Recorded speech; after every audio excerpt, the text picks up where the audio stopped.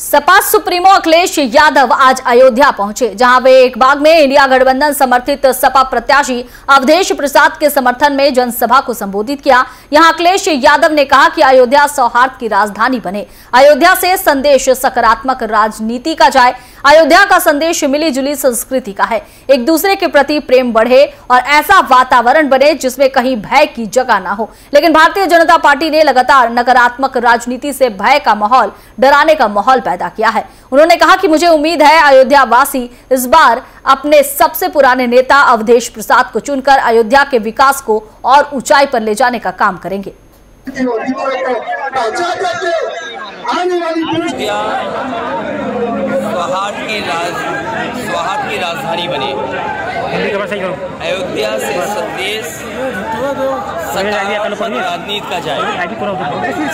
अयोध्या का संदेश मिली जुली संस्कृति का एक दूसरे के प्रति प्रेम बढ़े और ऐसा वातावरण बने जिसमें कहीं भय की जगह ना हो। लेकिन भारतीय जनता पार्टी ने लगातार नकारात्मक राजनीति से भय का माहौल डराने का माहौल पैदा किया।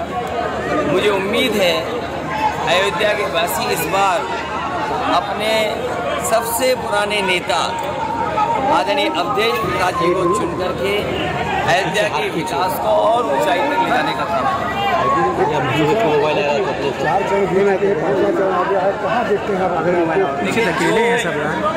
भाजपा ने झूठ बोल करके जिस ऊंचाई तक पहुँचे थे अब वो ढलान पे आ गए हैं और नीचे जाते जा रहे हैं।